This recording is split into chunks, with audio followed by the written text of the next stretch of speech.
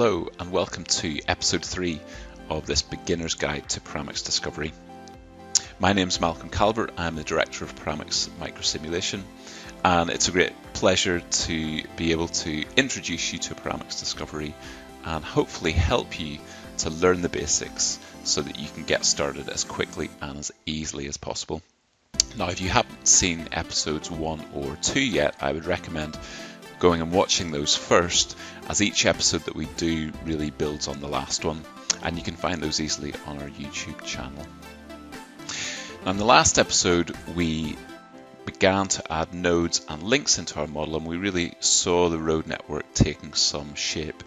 And in this episode, we're going to focus on the links specifically and how we can uh, develop those a little bit further. So we're going to look at how we add in extra lanes onto links, how we can set curved links, and how we can change some other link properties.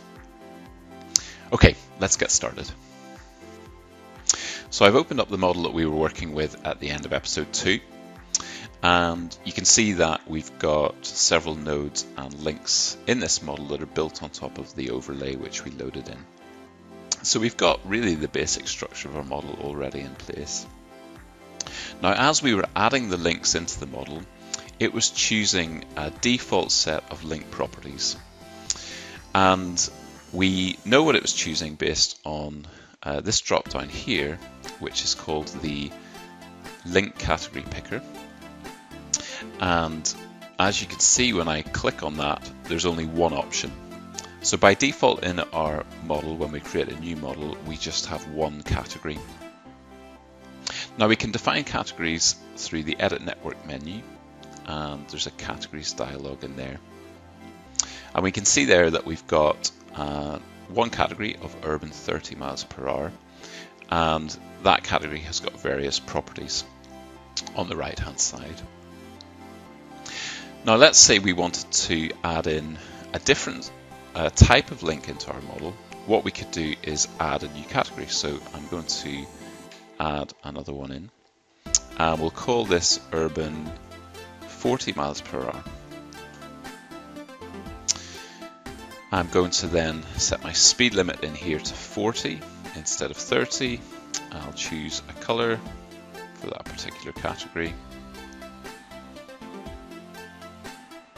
And when I close that and look at the link category picker, we can see now that we've got an urban 30 mile per hour and an urban 40 mile per hour link. When I hover over the particular category, I can also see some of the other details about it in the tooltip. So with my urban 40 mile per hour link category selected, I'm going to add in some new links into this model. And I'm going to do that in uh, the, the top right hand corner here in the northeast section of the model. Now what we can notice about this section is that we've got some curved links as well as straight links. And so we need to take account of that. But when we're adding links in, uh, we can't actually add curved links in.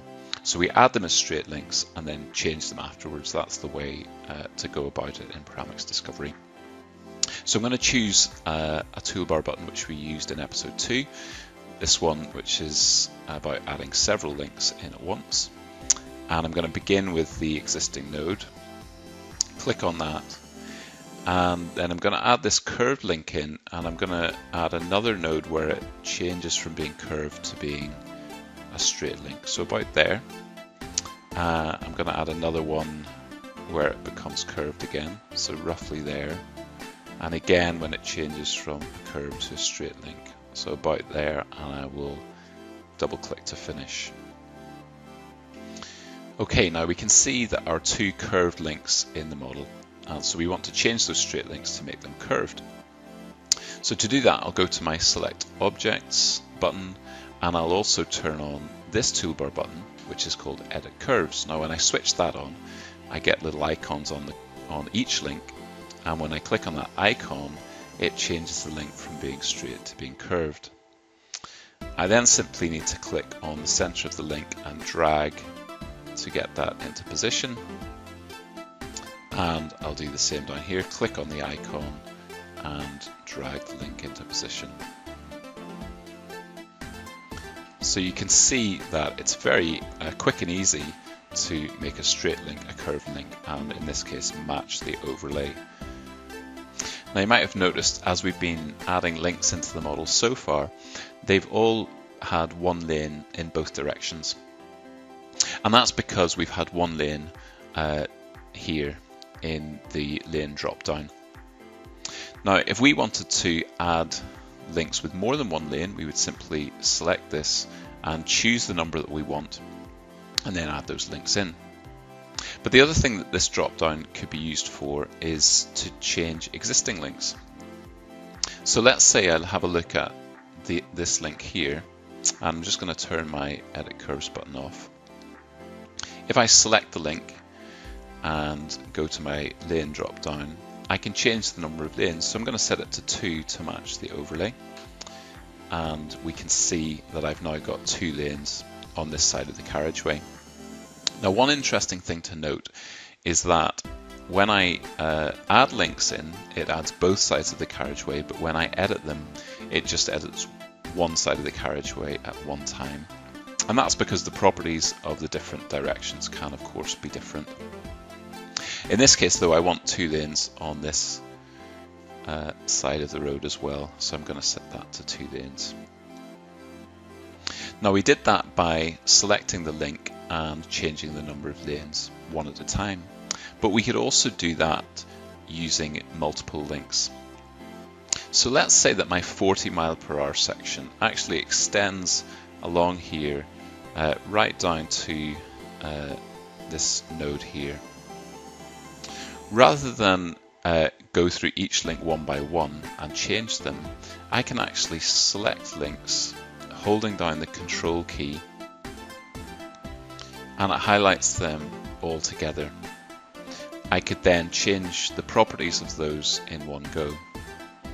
Uh, so let's say I want to make them 40 miles per hour and just go to my 40 mile per hour drop down and hit change and all the links now coming up to this node are 40 miles per hour.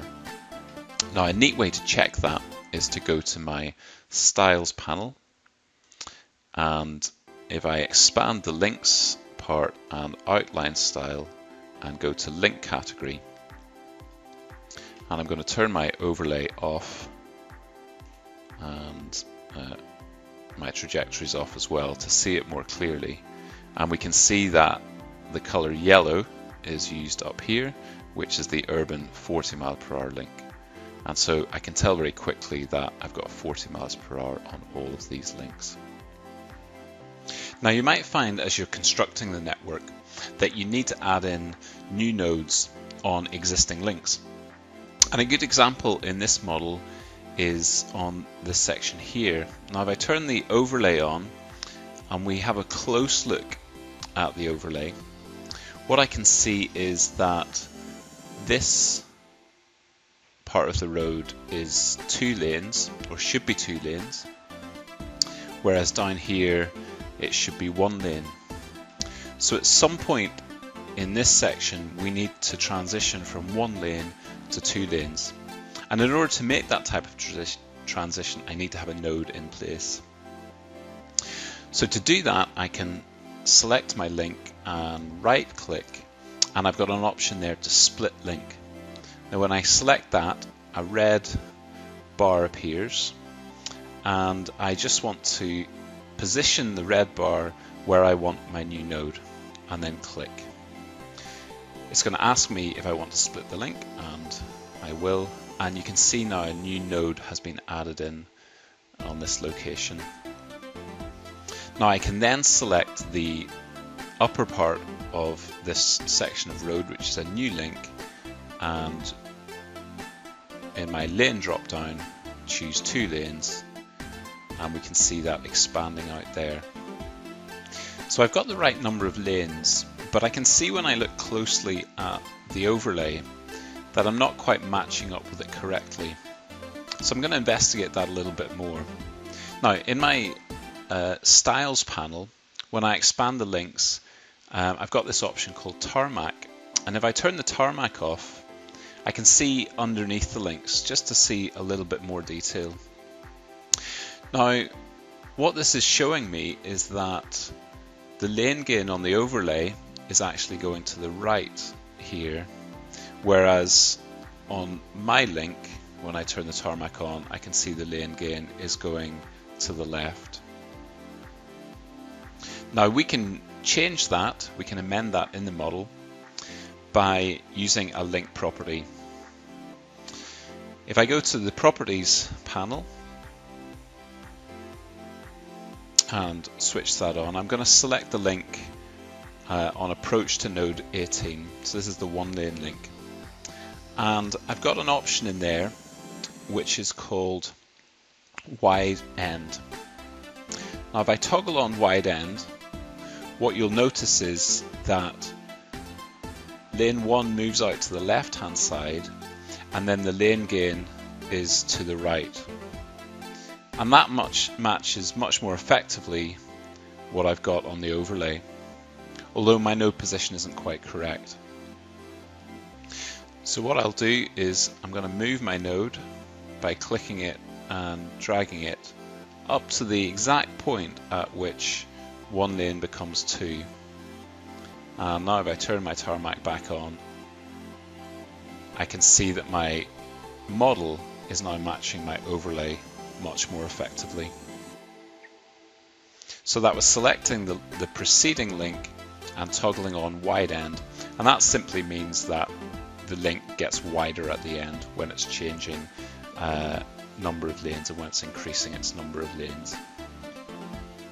Okay, so there's one final thing we're going to do in this episode, and to do that, we're just going to move further up uh, the model to this section here. I'll maybe minimize the properties and the styles panel so we can see it more clearly. Now, this section of the network um, has a combination of one lane and two lanes, and so I just want to tidy some of this up.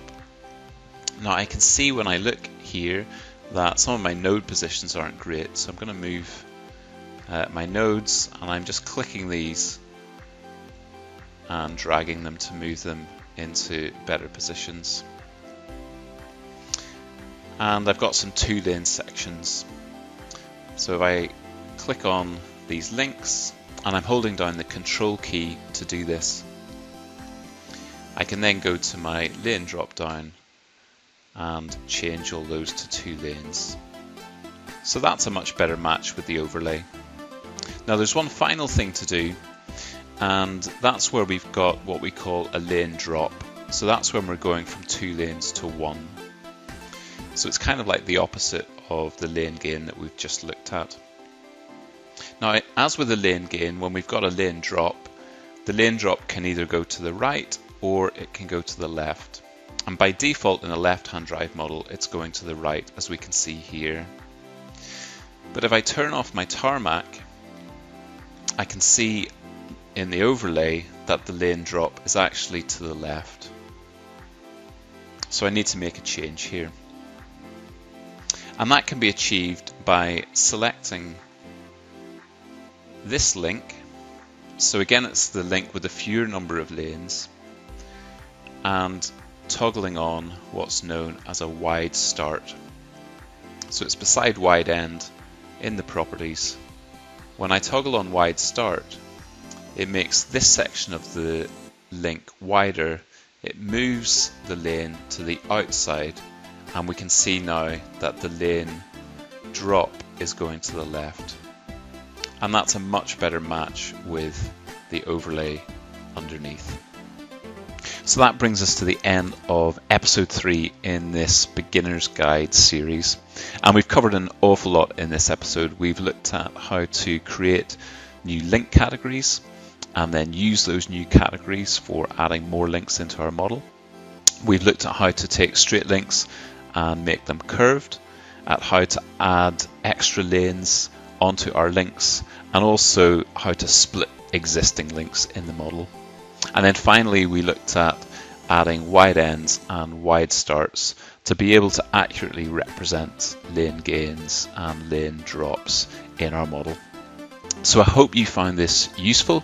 I encourage you to go and try these techniques on your model and look forward to seeing you for episode 4 next week.